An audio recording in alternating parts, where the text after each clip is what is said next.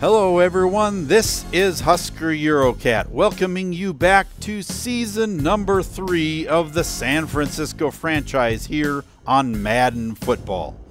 Our 49ers are struggling to get a win without their starting quarterback, Jimmy Garoppolo, and fell once again last week to the Cardinals in Glendale. This week, the Niners are hosting the Tennessee Titans in Levi Stadium. The Titans are coming off two sizable losses, and last week they let the Chiefs hang 55 points on them. Either they're showing defeat early in this season, that's only half over for the season, or the defense is really not what they thought the Titans were going to be. Regardless, each team is needing a victory tonight. For the Titans, it's get back to winning. And for the 49ers, the risk is sliding out of the playoff picture altogether. San Francisco really needs to find a running game if they're going to offset the deficiency at the quarterback spot. We're finding out that Zach Thomas is trying, but he's no Jimmy G. Will it surface tonight? Let's find out as we get ready for the Titans and the 49ers here on Monday night. As you can see here, San Francisco is two full games out of first place behind Seattle and Los Angeles. Marquette King sends it deep and it's taken in the end zone and down. Brought out to the 25. DeMarco Murray only gets a yard. Mariota out of the shotgun, hands it off to Murray. He has yardage over the over the 30 yard line for a five yard pickup. Third and four. The fake handoff, and it's incomplete. And the Titans have to punt it away. Thomas at the 26 completes it to Bell up the right side, and he's into Titan territory down to the 43. Now he McKinnon is caught in the backfield, a four-yard loss. Thomas back to pass and throws an interception to Avery Williamson. Thomas just looked like he got some happy feet and threw it a little bit too soon. Didn't wait for his receiver to get open, and O'Leary was behind Williamson when he picked that ball off. Now the Titans have it at their own 46 yard line. Mariota back to pass, almost has that intercepted by Ross Cockrell. Second and 10.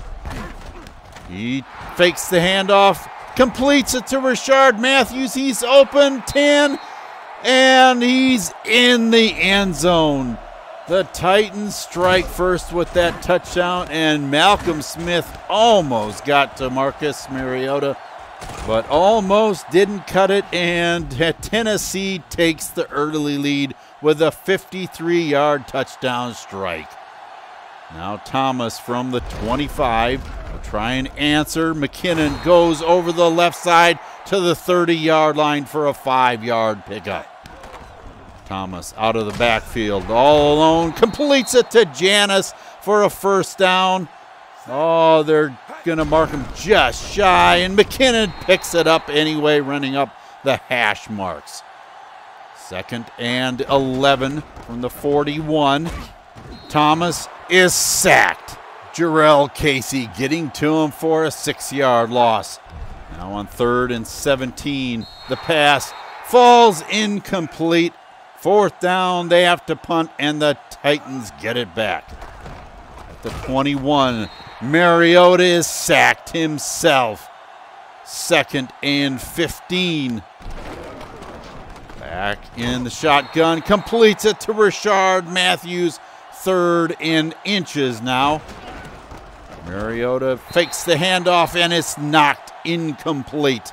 So the 49ers take over at their own 30 yard line. Thomas back to pass, goes long, and it's caught.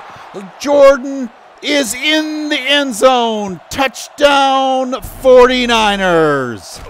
Thomas notices that the safety comes up to cover the flat, and hits Jordan for the bomb and into the end zone for the 49ers' first score. A 70 yard pass. Now, can the Titans respond? At the 24, Mariota is sacked. Bowman getting to him for a five yard loss. Once again, he's back to pass and completes it, but very short of the first down. And the 49ers get the ball back. McKinnon goes right side, jukes to the left, and has the first down out to the 46 yard line. And that brings us to the end of the first quarter with your score all knotted up at seven apiece. Thomas has him in the full house set and gives off to McKinnon, and he is dropped in the backfield. Brian Orakpo making the stop. Again, back to pass over the middle to O'Leary, and he fumbled the football. Oh my goodness, and it's it is recovered by the 49ers. And Nick O'Leary is down and injured. We'll have to find out how that's going to impact that tight end spot. And on third down, McKinnon bounces it outside to the left and does not get the first down. Marquette King, it's off the side of his foot and out of bounds. After a quick three and out from the Titans, ball is back in the hands of the 49ers, and Thomas is dropped for a six yard loss. Back to the four yard line. He's backpedaling in the end zone. It's, it's complete out to Nick O'Leary, out past the 20 yard line for first down. Thomas hands off to McKinnon, and he's dropped again in the backfield. A three yard loss this time. Thomas it completes it to George Kittle, and he's out in the open inside Titan territory, down inside the 45 yard line. That time on the roll to the right. Thomas finds his man over the middle. And George Kittle with an easy completion into Titan territory. Jones tries going right, and he has a nice seven yard gain. Give now is to McKinnon, and he's up the middle for a first down inside the 35 yard line. And Thomas takes too long. Delay of game on the 49ers, and that brings us to the two minute warning with your score 7 to 7. Now back to pass. Complete over the middle to Bell inside the 30 yard line. Third and three. McKinnon takes it right and is upended at the 20 yard line. First and 10 at the 19. Thomas completes it to Jordan, and he's inside the five yard line. Now at the four, first and goal. It's almost intercepted again by Williamson. Out of the I formation. Thomas rolls right, throws, and it's complete in the end zone. Jerick McKinnon, touchdown, San Francisco. Thomas putting some nice touch on that pass and floats it over the top of Adoree' Jackson and into the waiting arms of Jerick McKinnon in the end zone. That drive started out on the 10 yard line, folks. And that brings us to halftime.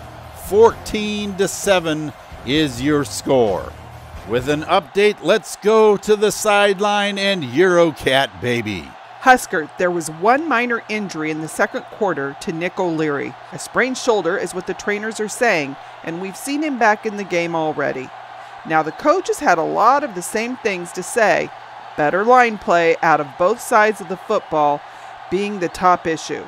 But Coach Gray for the Titans was most concerned with the inability of his defense to stop up the running lanes. Considering how the 49ers have had real trouble lately running the ball, he thought that defensively they would be doing a bit better.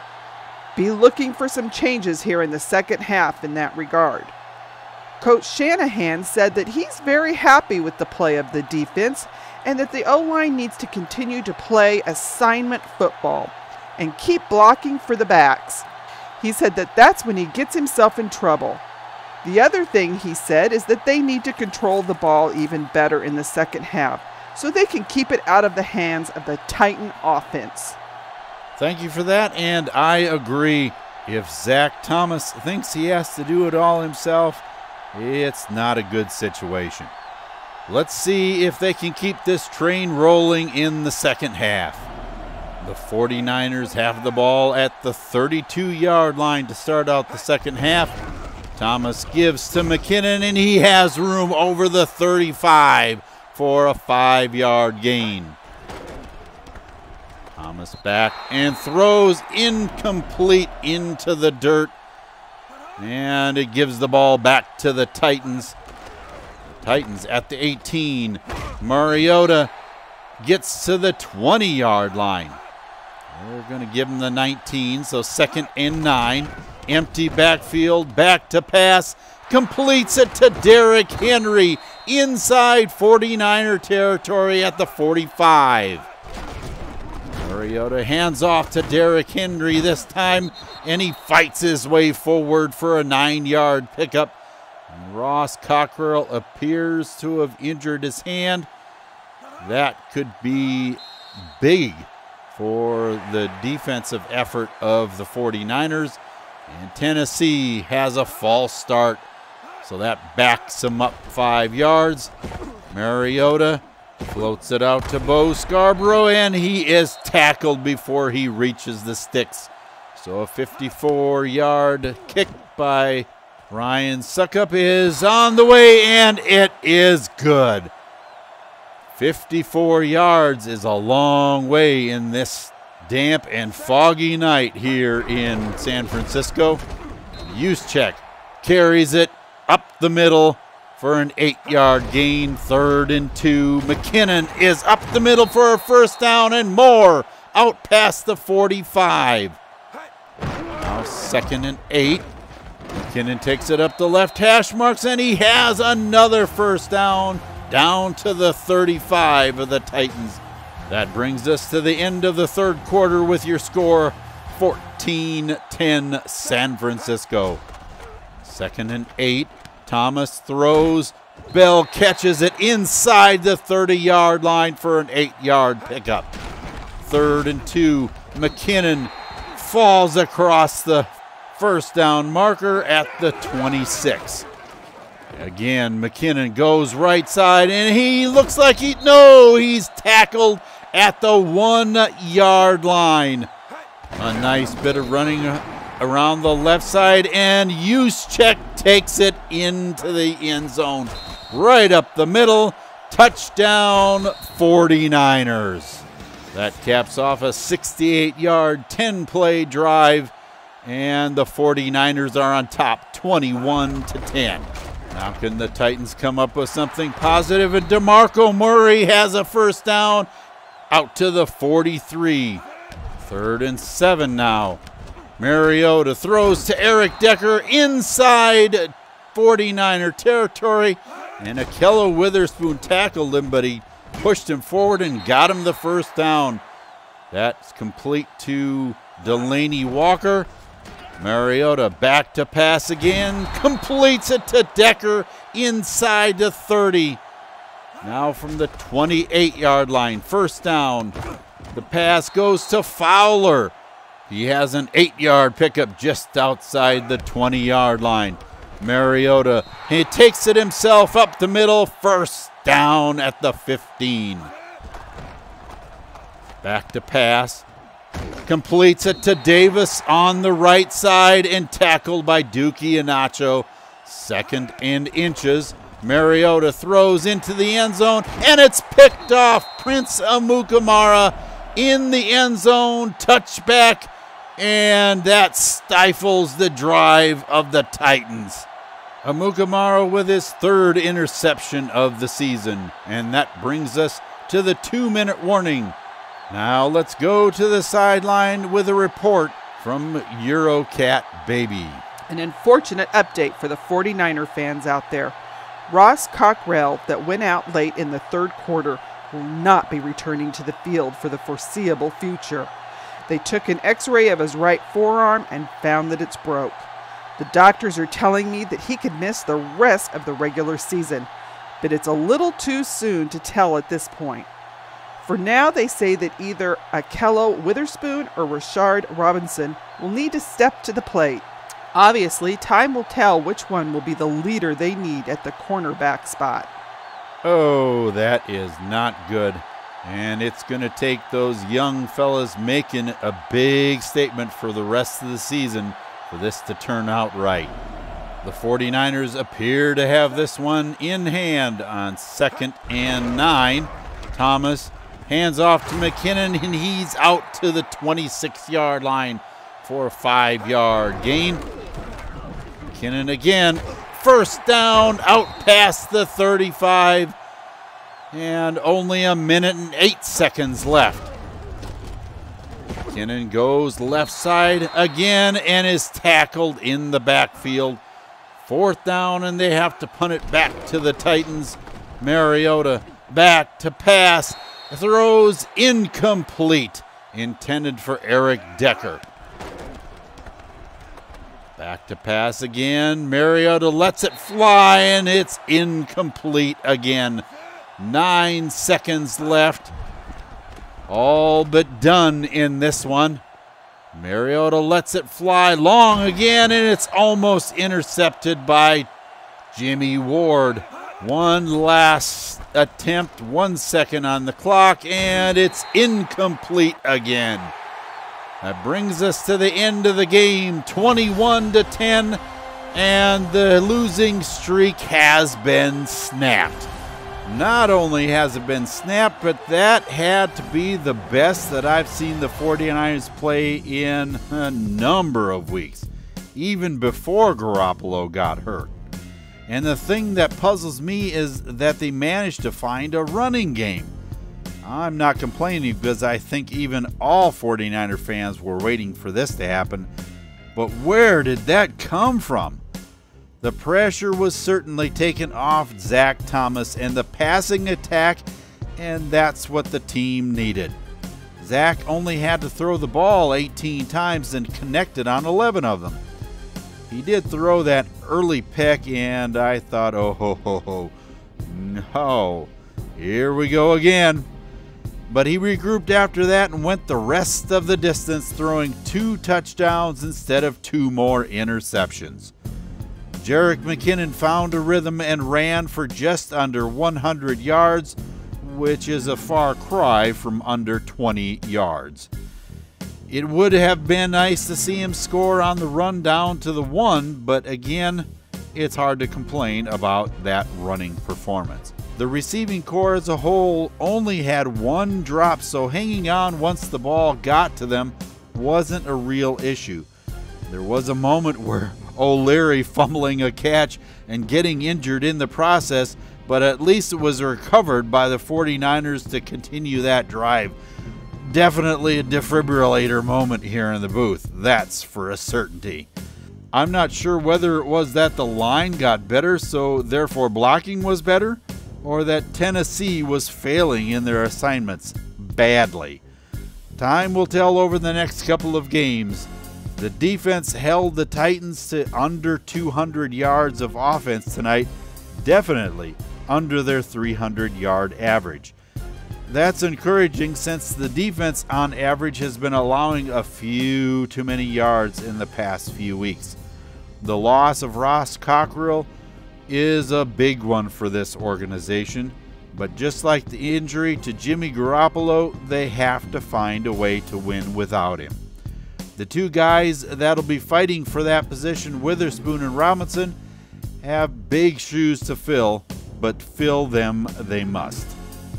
Good news on two fronts is that the 49ers have a bye week next week that will give them time to heal, and Jimmy G will be returning in two weeks when the 49ers continue division play at the Los Angeles Coliseum facing the Rams for the second time this season. The first time they met in week two, the 49ers outlasted the running attack of Todd Gurley. Los Angeles had a dynamite fourth quarter and almost came away with a victory. Will the Niners be able to contain him this time? Or will Jared Goff and that potent air attack be able to win the day? The defense will have to be in top shape for that one, I do believe. Will the newfound running game continue and help with the comeback of Garoppolo? How much rust will he have to work out during the game is the real question, I think. The Rams had a pretty good win against the Texans this week, so depending on the outcome of the Cardinal game next week, well, let's just see what kind of temperament that they're in come game time. thank you for tuning in to our Week 9 coverage of the San Francisco 49er franchise on the Football Freaks Sports Network. Please keep in mind that if you enjoyed this video, leave a like so that others can enjoy it too. And make sure that you subscribe and click on that bell for notifications of upcoming videos as well. The 49ers found a running rhythm this week against the Titans. With the return of Jimmy Garoppolo, will that continue? And will the Niners start on a playoff run? Can the struggling Rams come up with a game plan that will foil the best laid plans of the Niners? Be with us as we travel to the Los Angeles Coliseum to take on the Rams in an NFC West matchup. Both teams are fighting to stay in second place behind the Seahawks, who will be on top when the dust clears.